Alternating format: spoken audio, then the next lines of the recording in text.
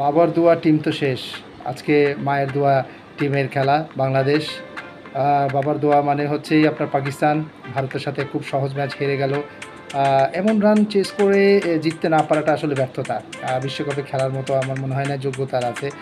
যদিও এটা খুবই বোলিং সহায়ক একটা পিচ এখানে রান করা এই টার্গেটেই জেতাটা আমি মানি। বাট এত সুন্দর একটা শুরু ওপেনিংয়ের পর যদি এই ম্যাচটা মিডিল অর্ডার না ধরে রাখতে পারে, বাংলাদেশ দলের মতোই হুবহু। আহ, ওদিকটায় আপনার আমাদের হচ্ছে ওপেনিংয়ে ব্যর্থতা মিডল অর্ডার একটু ভালো করছে আর ওনাদের হচ্ছে পাকিস্তানে ওপেনিংয়ে ভালো শুরু কিন্তু মিডল অর্ডার ভেঙে পড়ছে। তো আজকে মায়ের দোয়া টিমের খেলা সেখান থেকে আমি বলব যে তুলনামূলক পাকিস্তানের থেকে বাংলাদেশ একটু এগিয়ে আছে। দেখা যাক আসলে পরবর্তী রাউন্ড যাওয়ার পর্যন্ত কতটুকু তারা দৌড়ে এগিয়ে থাকতে পারে।